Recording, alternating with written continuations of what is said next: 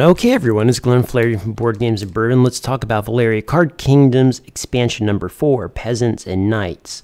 Uh, so, just to recap, number one was event cards. It focused on that. Number two focused on a new kind of monster that was cool, and the monster was also uh, mixed up with the event cards, which was kind of cool. Number three focused on agents, which are cards you don't have to roll for, they're just available.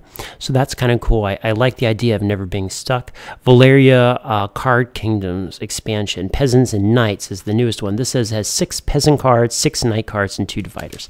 So this looks like this. Uh, let's open it up, see what's in it, but I have a feeling it might be just a matter of more of the same. Ah, such an unsatisfying opening there. Okay, so what do we got here? We got our dividers again. So definitely just people. Okay, so yeah, you're rolling number five. You're going to get a peasant.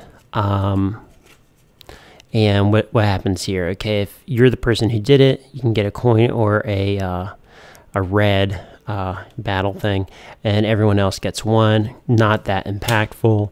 Number six, um, here, three coins, you would get one red or one blue, uh, a magic, and everyone else would get one uh, red. Eh. Alright, that's alright. Not a big deal. That is definitely the weakest of all the expansions so far. Okay, but that's number four. Uh, uh, peasants and knights. Okay, maybe that can work in. Maybe I'm not just saying it. All right, let's move on.